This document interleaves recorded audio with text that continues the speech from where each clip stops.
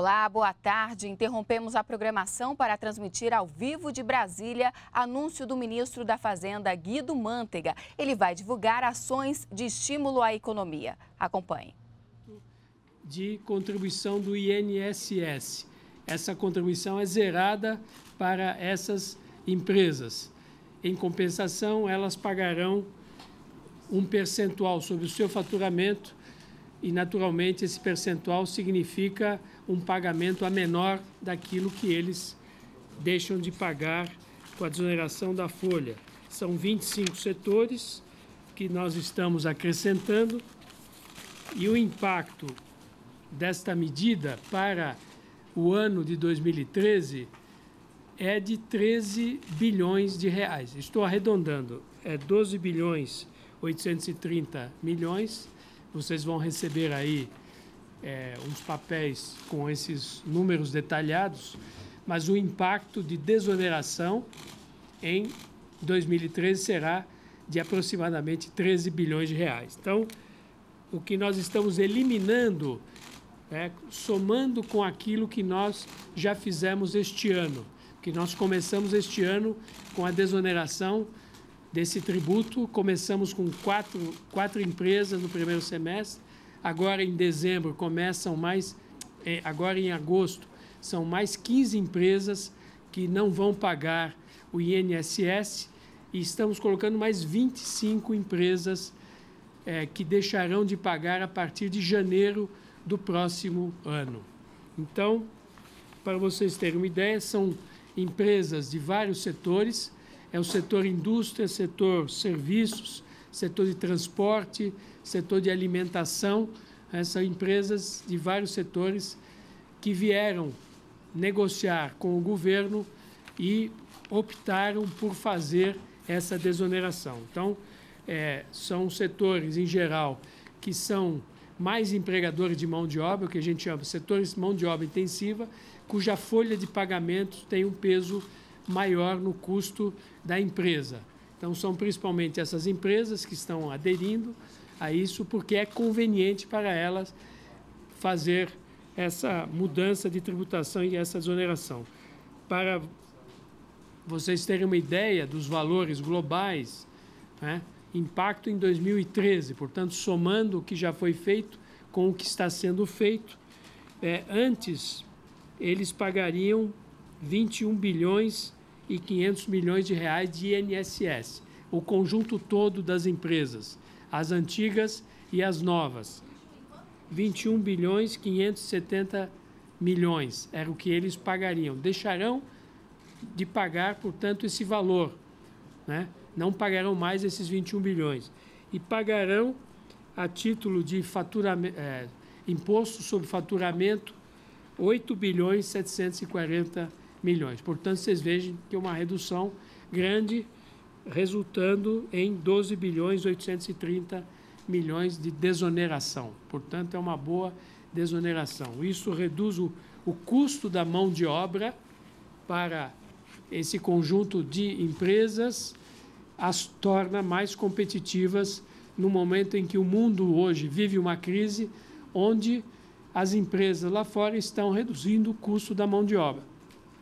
Só que lá fora eles estão diminuindo salários e diminuindo benefícios dos trabalhadores. Aqui nada disso acontece. Aqui é pelo contrário. Nós estamos tirando a tributação patronal de modo a preservar os salários. O resultado desta medida será a formalização, porque algumas empresas que hoje preferiam não contratar mão de obra para não ter que pagar os tributos, poderão estar contratando mais mão de obra. Então, a tendência é um aumento da contratação de trabalhadores, aumento do emprego, né? aumento do emprego e aumento da formalização.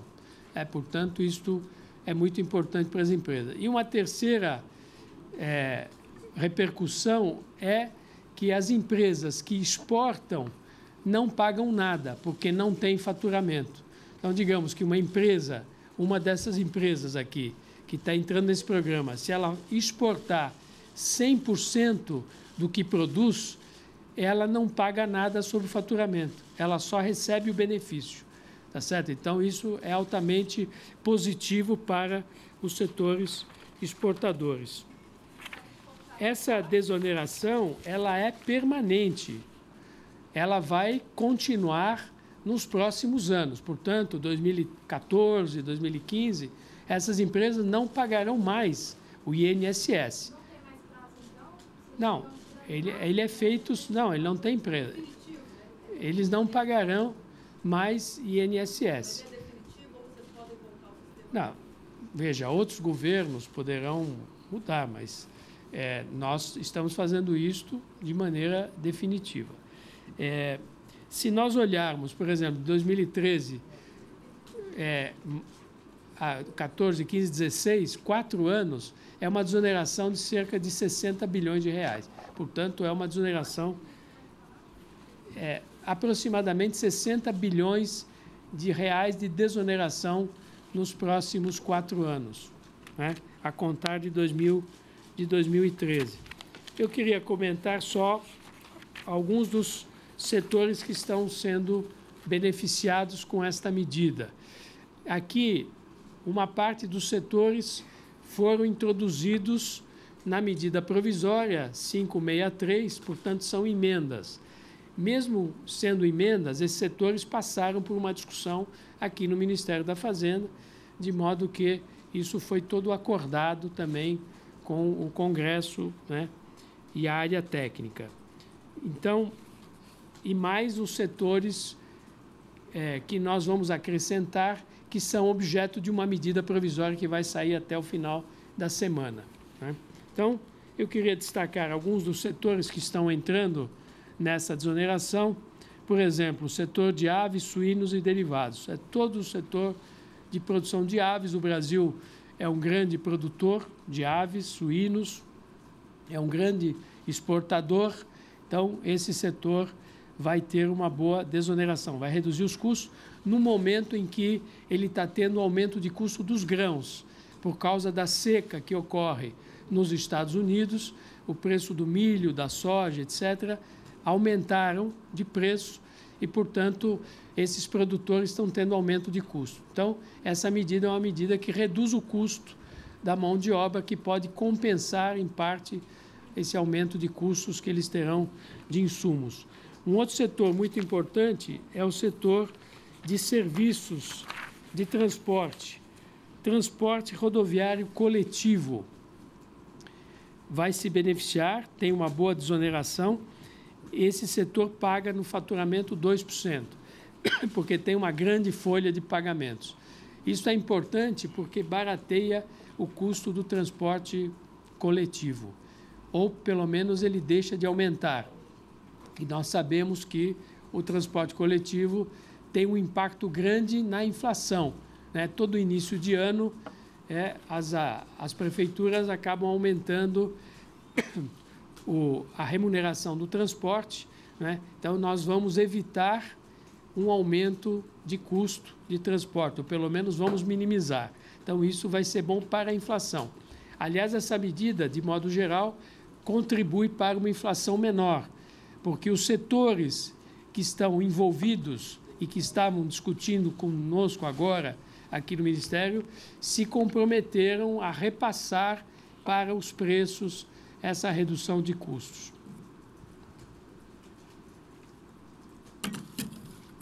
Eles são, de certa forma, obrigados a passar, repassar para os preços, porque eles sofrem hoje a concorrência de produtos importados.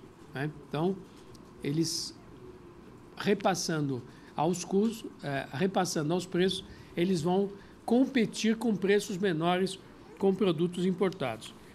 Outros setores importantes, setor papel e celulose, que é um setor em que o Brasil é, é, é, forte, nós temos uma boa produção, mas que hoje os preços internacionais estão baixos, então com isso reduz os custos. Setor de fármacos e medicamentos, é um setor importante. Nós temos uma indústria nacional que está buscando se firmar, a concorrência internacional é muito forte. Com isso, esse setor vai ser beneficiado.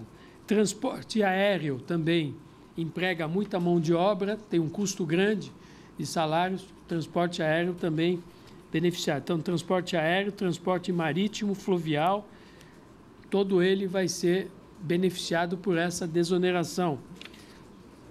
Depois, é, nós temos é, setores como fabricação de forjados de aço, ferramentas, parafuso, ou seja, setores ligados a bens de capital que também vão ter essa, esse benefício. Setor de cerâmica.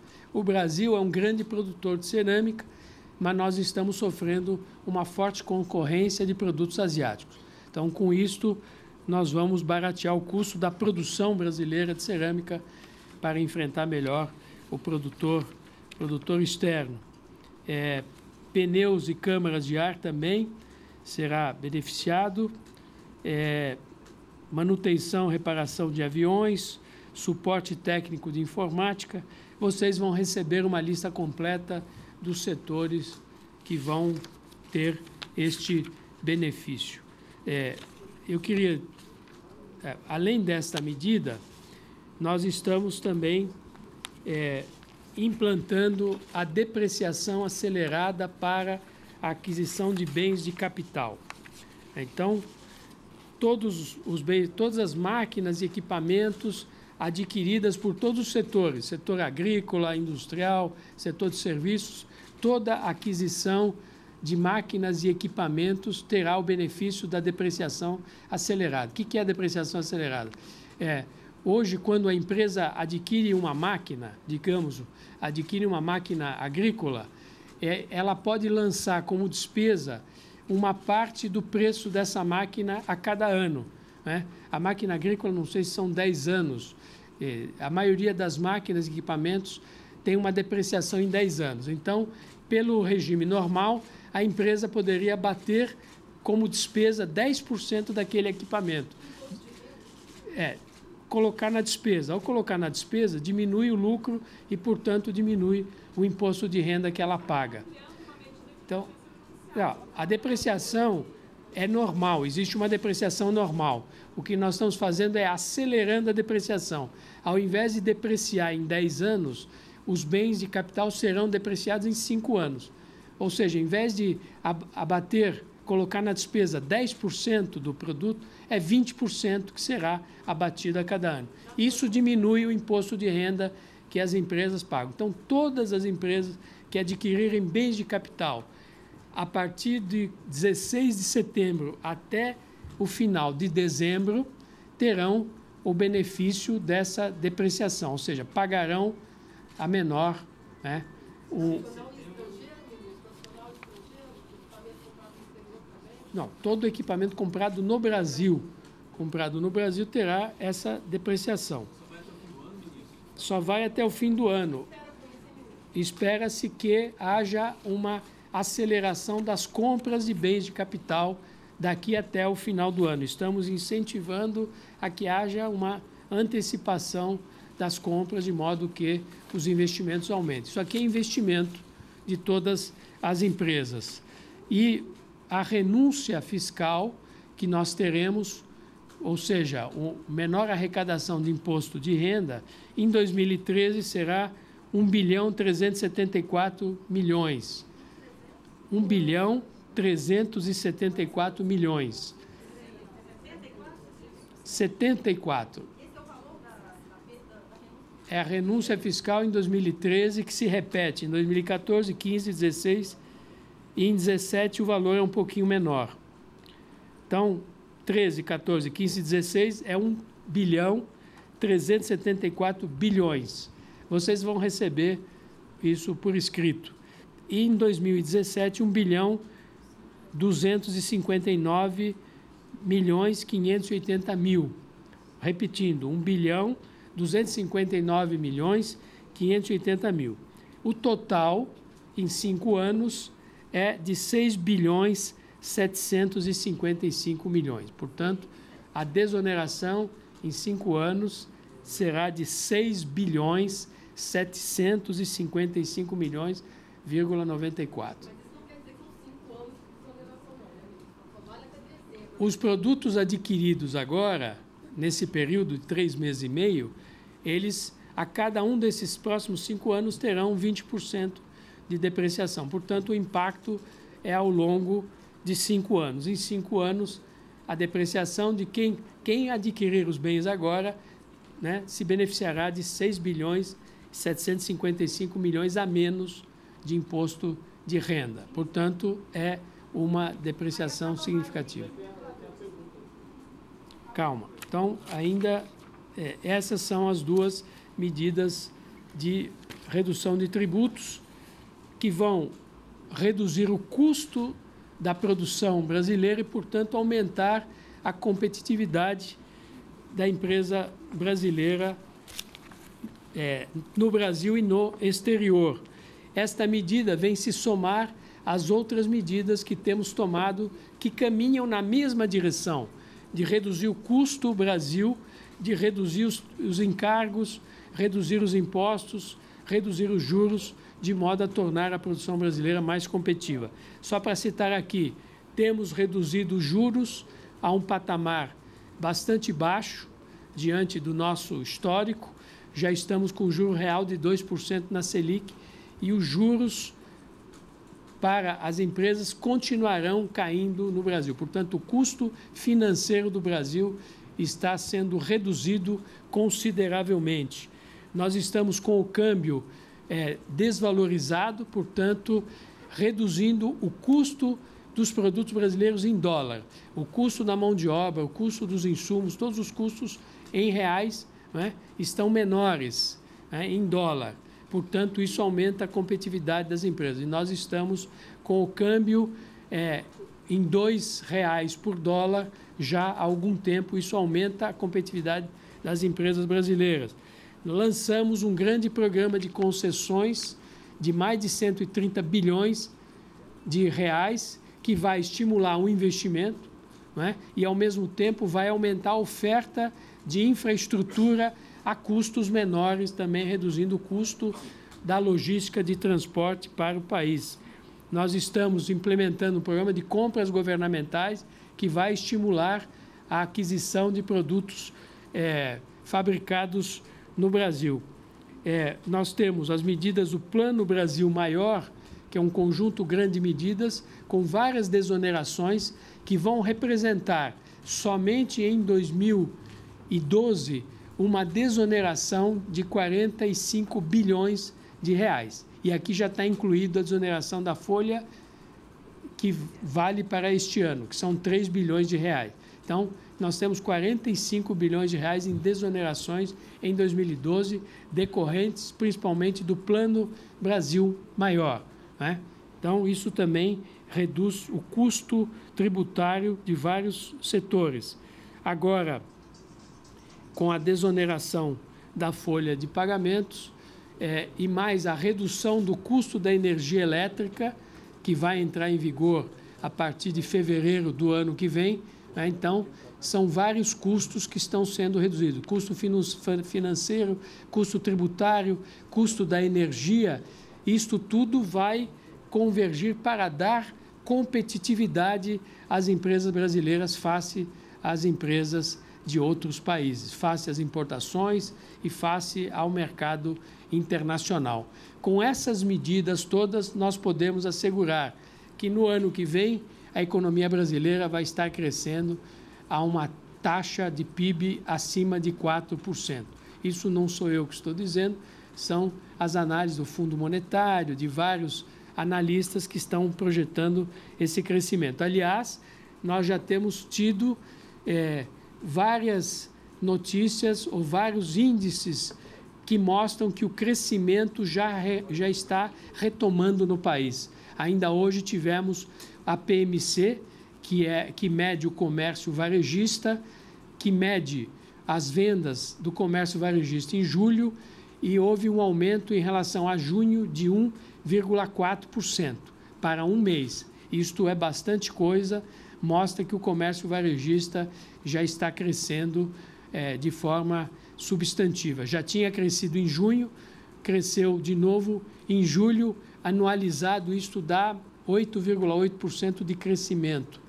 Aliás, para o ano de 2000, 2012, isso significa um crescimento de 8,8% do comércio varejista. Portanto, nós temos um mercado que continua crescendo, continuamos com pleno emprego, com a massa salarial crescendo e mais todas essas medidas que nós temos tomado de modo a impulsionar o crescimento do país. Esse segundo semestre nós teremos um crescimento bem maior do que o primeiro semestre e já terminaremos o ano, viraremos o, o ano já com uma taxa de crescimento em torno de 4%, que será mantida para o próximo ano.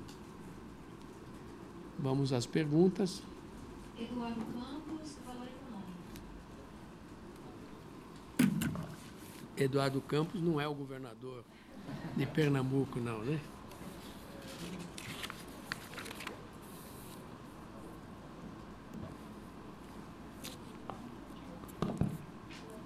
Boa tarde. É, ministro, a gente está vendo essa série de medidas, tanto de desoneração aqui nas linhas de para as empresas, tivemos também aí, como o senhor mencionou, o pacote para energia. A gente há uma movimentação toda para ajudar esses segmentos do lado econômico, mas também não, não pode enxergar uma política de ações aí microeconômicas visando também combater a inflação ou uma nova forma de se combater a inflação que não seja necessariamente uma elevação na taxa básica de juros? Olha, é, nós estamos tomando várias medidas que contribuem para a queda dos preços. Para começar, a redução de IPI sobre vários, é, vários é, produtos brasileiros, automóveis, linha branca e tudo mais. Tudo isto manteve os preços reduzidos. Então, é uma contribuição para a inflação. É, todas essas medidas de redução de custos vão se traduzir em redução de preços. Por exemplo, redução de preço da energia, em média 20%. Uma parte disso vai para os preços dos produtos. Então, vamos ter uma redução de preços. As estimativas são de que isso deverá é, provocar uma redução de preços de meio a 1% né, do PIB, né? perdão, da inflação. Né? Então, isto é uma redução substancial e todas as demais de medidas de redução de custos que nós estamos tomando. A própria redução da taxa de juros reduz o custo financeiro que está no preço dos produtos também. A redução do custo financeiro também acaba reduzindo o preço dos produtos. Então, a inflação hoje está sob controle no Brasil. Nós tivemos aí uma, um, o que se chama choque de oferta, porque os grãos subiram no cenário internacional. Isso independe das nossas medidas, independe do nosso mercado. Isso é determinado pela seca nos Estados Unidos e também na Rússia, uma seca é, de grãos. Né? E agora também temos uma seca na Índia é, que vai afetar o preço do açúcar. Né? Mas, fora isso, os preços que dependem de nós estão sob controle. Portanto, não há pressão inflacionária no país, excetuando essa questão do choque de oferta. E com todas essas medidas que não entraram ainda em vigor, estão entrando em vigor em 2013, nós teremos uma inflação muito bem comportada em 2013. Arnaldo Galvão, da Bloomberg. Boa tarde, ministro. O Fed acabou de anunciar mais uma medida hoje de compra de ativos, uma pesada compra de ativos. Então eu pergunto para o senhor como é que isso afeta o câmbio no Brasil, como é que o governo brasileiro vai reagir a isso e ainda dentro do, do tema inflação, eu quero saber se o governo vai desonerar a cesta básica, medida que foi incluída pelo Congresso na conversão da MP 563. É, nós estaremos atentos para as possíveis repercussões que terá esse novo quantitative easing, essa nova expansão monetária praticada pelo Banco Central americano. É, se houver alguma entrada indesejável de recursos no Brasil, no curto prazo, nós tomaremos as medidas adequadas. O fato é que não deixaremos ocorrer uma valorização do real por causa dessas medidas.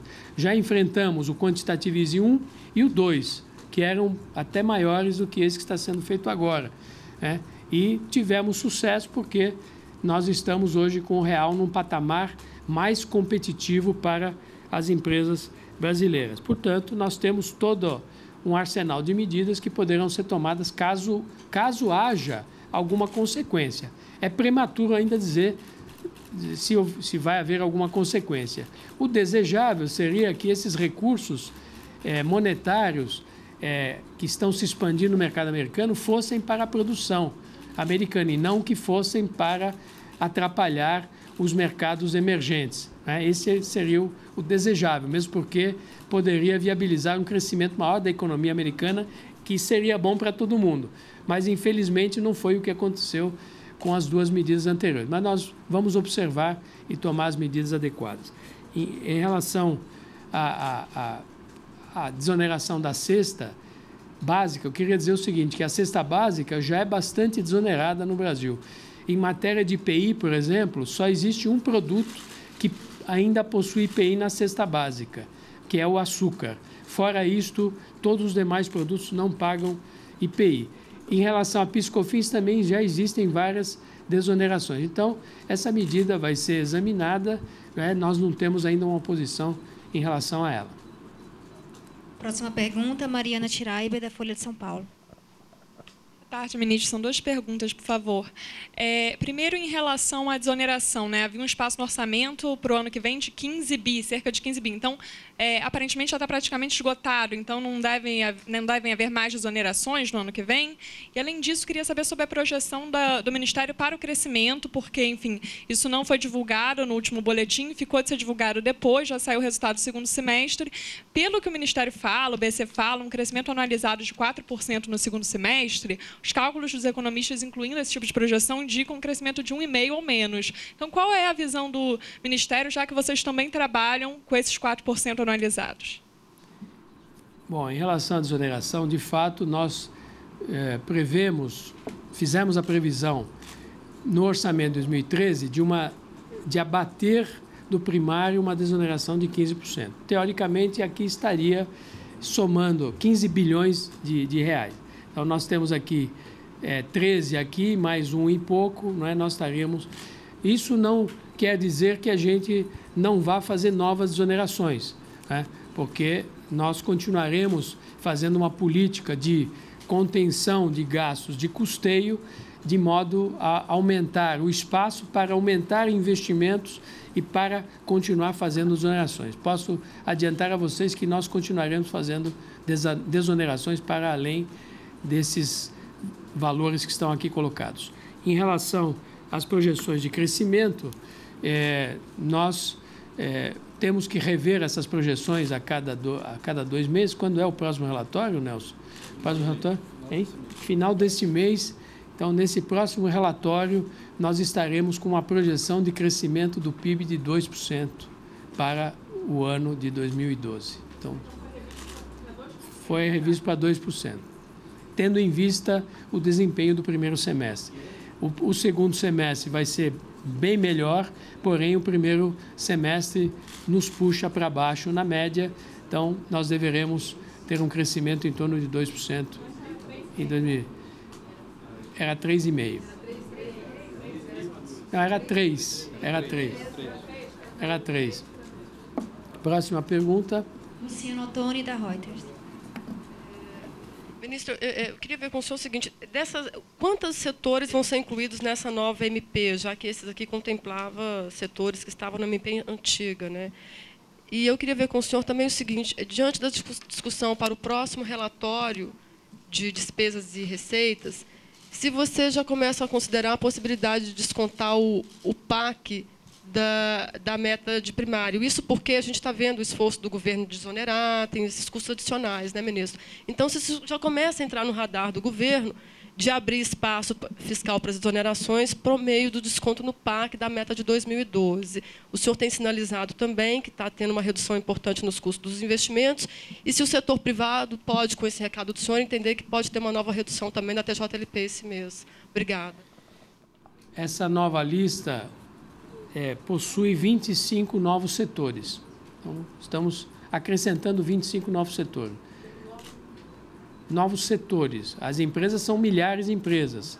São novos setores. Então, por exemplo, o setor aves, suínos e derivados tem sei lá quantas empresas, dezenas de empresas. É, vidros, cerâmicas. Cada setor tem dezenas ou centenas de empresas. Então, são milhares de empresas que são beneficiadas com essa desoneração. Então, são 25 setores.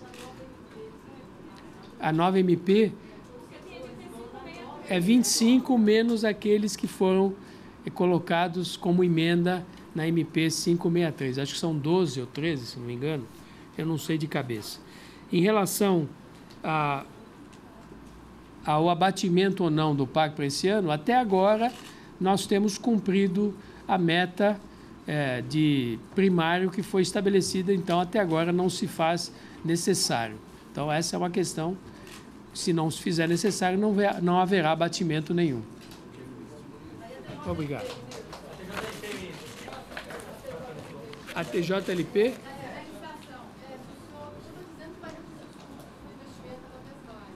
na TJLP já está no seu menor patamar histórico, 5,5%, e não está, não há previsão para uma nova redução. Mas em compensação, os juros, alguns juros que o BNDES está praticando estão abaixo da TJLP. Por exemplo, a compra de máquinas e equipamentos, 2,5%, compra de caminhões, 2,5%, para caminhoneiro, 2,5%. Então, já há várias taxas de juros praticadas pelo governo é, abaixo da TJLP. Inclusive, o Banco do Nordeste também teve essa autorização a partir de sexta-feira para praticar a taxa de 2,5%. Muito obrigado.